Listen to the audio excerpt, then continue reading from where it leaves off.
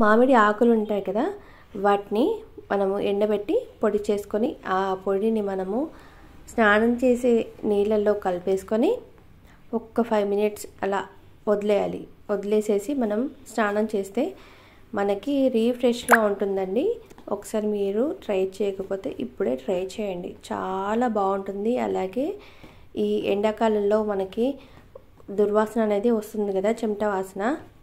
వాసన నుంచి మనం రిలీఫ్ కావచ్చు. అలాగే ఇంకొకటి ఏంటంటే ఈ పేస్ట్ ఉంటుంది కదా ఈ పేస్ట్ని మనం మొహానికి పట్టించి ఒక ఫైవ్ మినిట్స్ అలా తుడిపేసుకుంటే అంటే కడిగేసుకుంటే కడిగేసుకున్నాక వెంటనే సబ్బుతో అయితే రుద్దకూడదు. మనం ఓన్లీ బియ్యం పిండి లేదంటే శనగపిండితోనే రుద్దుకోవాలి. ఇలా రుద్దుకుంటే ఫేస్ అనేది ట్యాన్కి దూరంగా ఉండి ఫేస్ బాగా ఉంటుంది గ్లోయింగ్ కూడా ఉంటుంది. ఈ టిప్ మీరు ఫాలో అవ్వకపోతే ఇప్పటి నుంచి ఫాలో అవ్వండి. ఇంకా ఇది ఎండాకాలమే కదా అండి? ఓకేనా?